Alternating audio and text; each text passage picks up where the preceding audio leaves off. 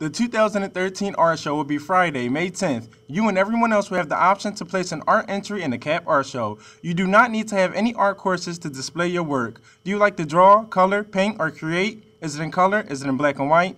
Either or, it doesn't matter. Bring it to Mrs. Corso on H30 as soon as possible. All entries are due by April 26. $2 in advance and 3 at the door. Please invite all your family, friends, and classmates. More information is still to come. I'm Kasheyon Lee for CAP News.